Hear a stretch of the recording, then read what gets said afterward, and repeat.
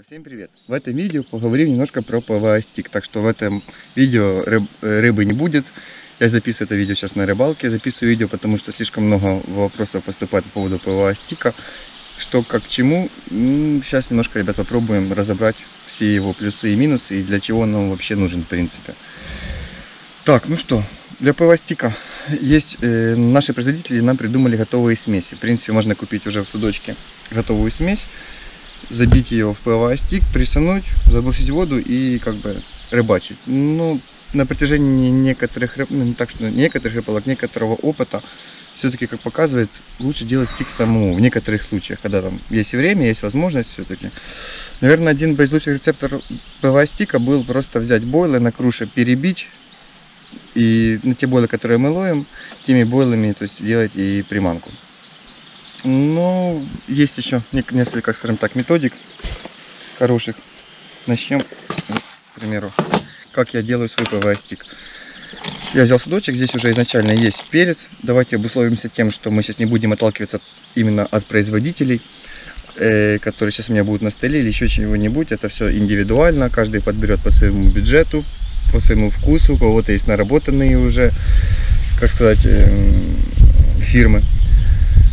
фирмы. ПВА-стик делает, я делаю всегда его, в принципе, база у меня идет пелец, полтора-двух миллиметровый, не больше. Э, если мы делаем на рыбной основе, если мы ловим рыбная насадка, скажем так, вкус рыбный, обусловимся, то мы будем делать и стик тоже рыбный. Если мы, это у нас какой-то фруктовый запах, чего-нибудь молочка, еще-нибудь, ну, такое. То есть мы отталкиваемся тоже в, ну, в эту степь, так что здесь сильно нечего разлагольствовать. И начнем делать нашу основу для нашего пельца.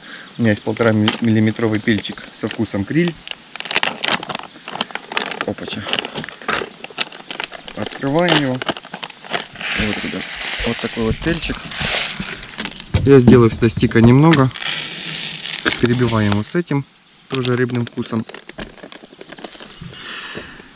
Также, ребят, в ПВА-стике, наверное, одну из таких ролей играет довольно сама ПВА-сетка, потому что сейчас, пока буду рассказывать, кинем немножко на крушу крилевых бойликов.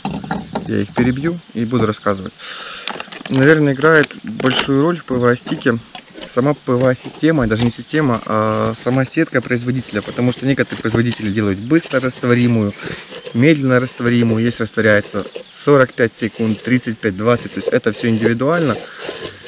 Также есть у нас ПВА-сетки под теплую водичку, под холодную, это нужно не забывать, и чтобы наш ПВА-стик поступал на дно, ребят, перебил. Вот такая красота. Если немножко остается где-то крупной фракции, то есть это ничего страшного, даже ну, это не будет ни в коем случае минусом. Вот, перебили наши бойлы. Класс, запах уже пошел рыбный. Также сюда, ребят, можно добавить пельчика. Посмотрим, у меня вот есть такой пельчик тоже. Dry Mix. Это смесь пельцев. Тоже можно перебить его на круши, добавить сюда. Летим дальше. По поводу, зачем он нам вообще нужен, что такое ПВА-стик и зачем он нужен. Это, скажем так, мы не пытаемся ПВА-стиком накормить ни в коем случае рыбу.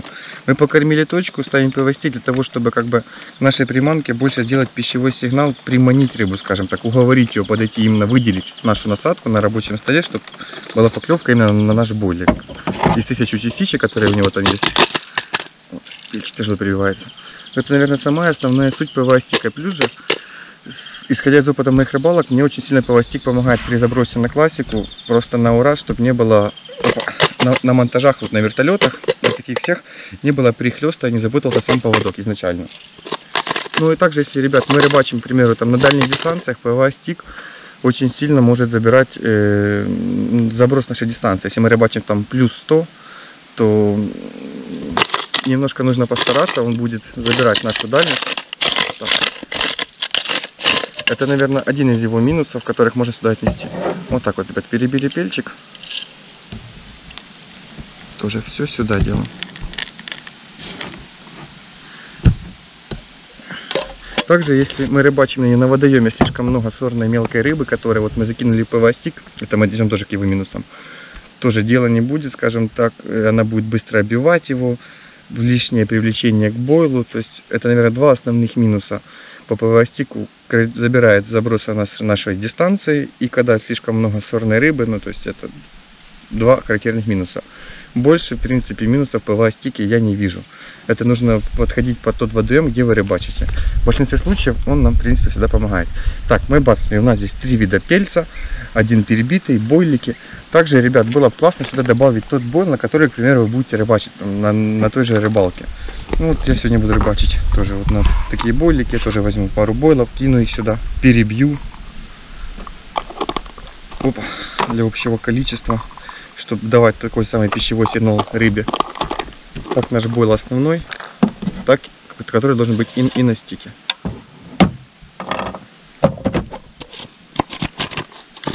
Также тут можно химичить очень много сильно. С селями, с аминокислотами. Это все, ребята, дело вкуса. Кто во что верит. Ну, здесь претендовать кому-то лучше так, кому-то лучше, ну. Я люблю заливать CSL, люблю еще перед забросом сам ПВА стик. Опа. Вот наш бойлик тоже сюда. Получается у нас не слишком мелкая фракция. Можно перебивать, но вообще в муку, но мне это дело все не заходит. Я делаю на каждую рыбалку ПВА-стики в основном или на рыбалке, либо, может, там часа за 3-4 перед рыбалкой. не накручиваю там большое количество. Знаю, ребята, спортики, кто занимается, они готовят там дома перед соревнованием 3-4 судочка, разные вкусы подписывают. Ну, то есть, скажем так, у меня сейчас любительская рыбалка, меня не интересует там быстрота и я делаю это для себя, скажем так, для удовольствия. Начнем с этого. Также, ребят, было всегда классно добавить болики, пылики. Ну, в принципе, чтобы были такие полезные частички. Если есть желание, можно вместо активных частичек добавить сюда э, жареную коноплю, перебить ее на круши, она будет давать нам взрыв нашего ПВА стика и будет привлекать больше внимания нашей рыбы. Я добавлю, сегодня у меня конопли с собой нету, я добавлю вот, буквально пару штук вот таких вот крупненьких бойликов. Это 24 по-моему, если я не ошибаюсь. Также мы сюда бацнем еще немножко попапов. Пупап тоже классно использовать. Он дает нам определенную работу. Динамику нашему. Ребят, перебиваем наш, опа, наш пылик пылики всегда на круши идут довольно тяжело, так что без фанатизма, не ломая наши круши. Все тоже перебили, это все дело. Вот такая фракция получается. Мельче, больше. В принципе, вот это нам хватит буквально на 10 ПВА стика. Мы сюда все добавим немножко, ребят попапиков. Я люблю добавлять цветных таких ярких попапов. В принципе, когда мы там перед забросом у нас остаются старые попапы, я их собираю, тоже в крушу перебиваю. Но сейчас у меня их, к сожалению, нету. Ребят, так что пожертвую пару вот таких вот ярких, классных каких-то цветов повыбираем. В принципе, они лучше перебиваются, когда они уже такие подсохли, подгуляли, не, скажем так, не, не слишком свежие. Открываем нашу крушу набрасываем сюда наши пупапы. Также, ребят, если там у кого-то нету круши, я поначалу вообще, в принципе, перебивал это все дело вот таким вот образом, руками просто. Разбивал, да, приходилось, потому что, ну, не было у меня круши. Со временем обжился. Ну, конечно, лучше ее иметь на старте. Вот, ребят, собираю разную палитру цветов. Опять же, ребят, я не настаиваю на этом всем, что я делаю. Есть очень много разных рецептов ПВА стика. Это то, которое наработано мной, которое более-менее, скажем так, это работает. Проверено на моих рыбалках. Я это все делаю. Можно посмотреть, ребят, на канале. Я сам по себе люблю использовать ПВА стики. Мне это нравится. Я считаю это дополнительным классным сигналом для, для нашей рыбы. Сейчас хорошо поработаем крушей, чтобы можно сильнее их перебить. Попапики мелкие, круша крупная перебили. Вот еще немножко даже можно.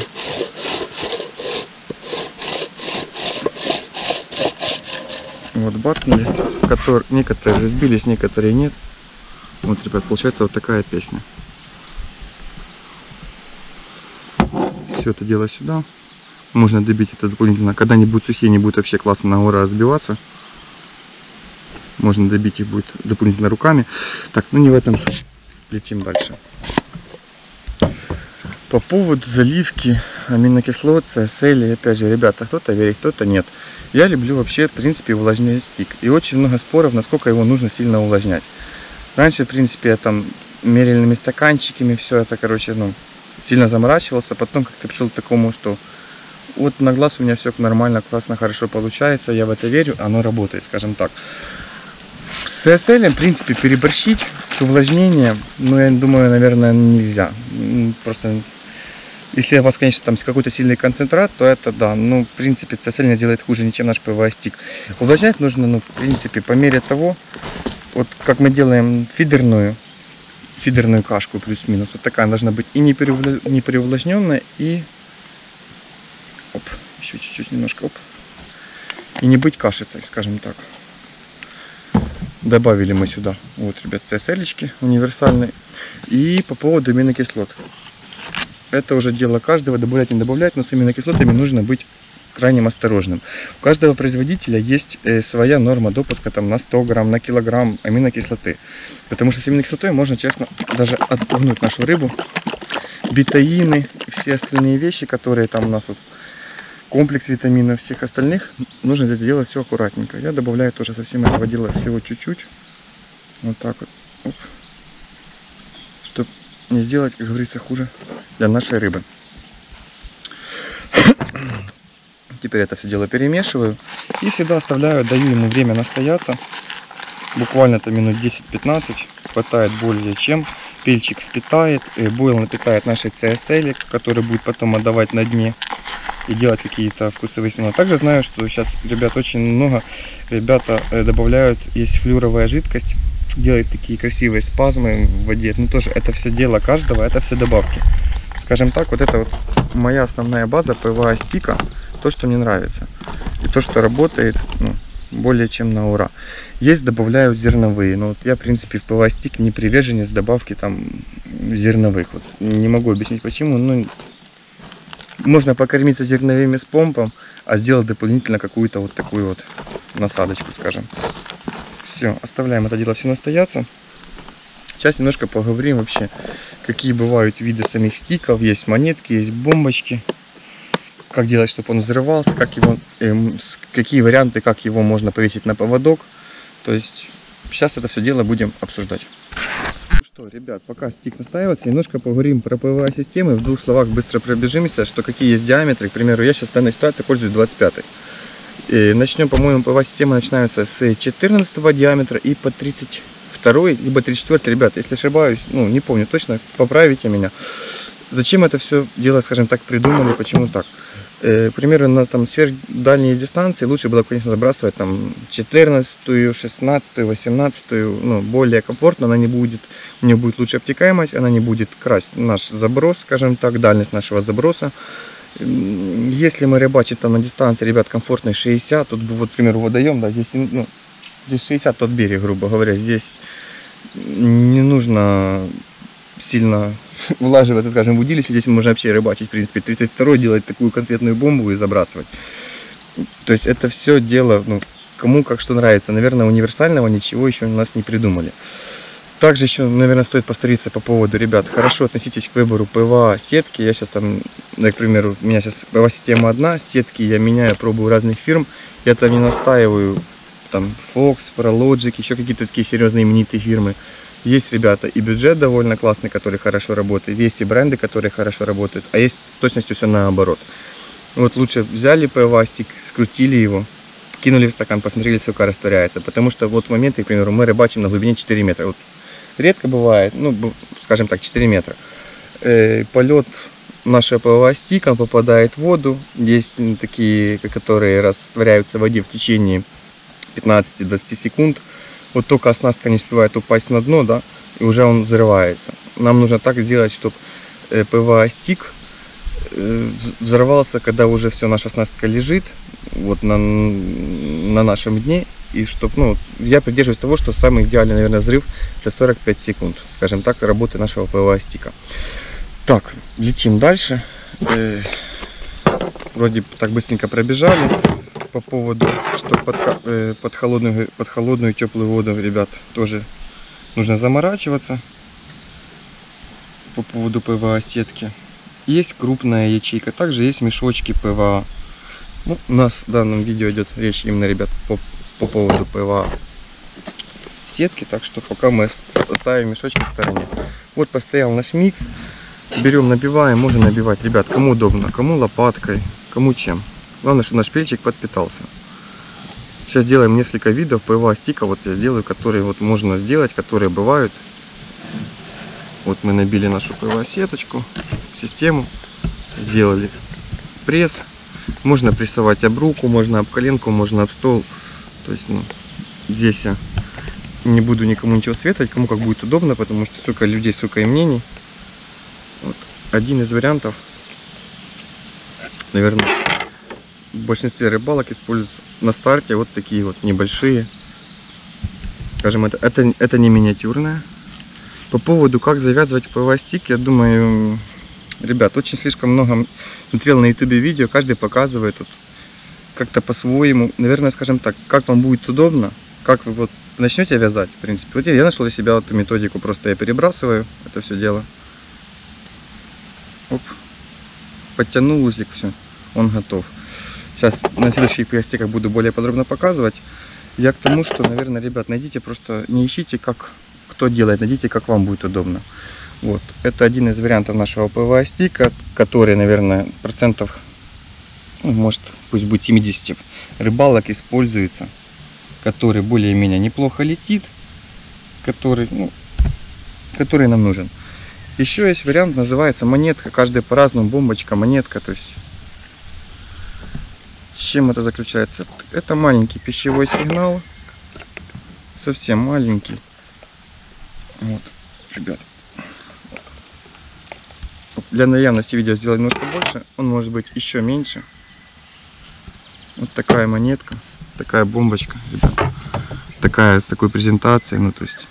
И также может быть, скажем, большой ПВА-стик, который мы пытаемся именно нормально дать. Хороший знак рыбе, сигнал, что вот мы есть, мы хотим тебя словить.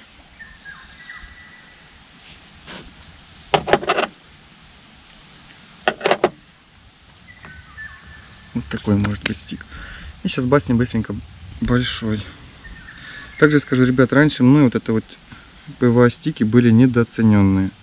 У меня не получалось с ними рыбачить, я, я в них не верил. Из-за некоторых там у меня были косяки. Я довольно не сильно внимательно к этому относился. Также были моменты с сеткой, потому что она растворялась, не успевал впасть в воду, она растворялась, либо наоборот лежала. Не проверял, жалел ее, короче, как-то вот. Только, вот, может быть, еще больше. Если мы там рыбачим за воз, то мы можем его вообще сделать, ну, то есть,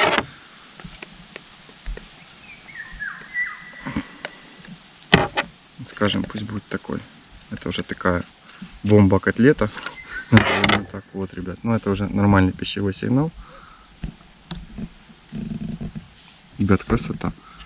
Опять же, по поводу завязки, ну вот, это такое мое. Нам лучше скинуть больше всегда системы, чтобы было удобно завязывать. Я просто перебрасываю обыкновенный узел. И здесь просто подтягиваю. Здесь, ну, то есть ничего. Кто двумя пальцами, кто тремя, ну, то есть...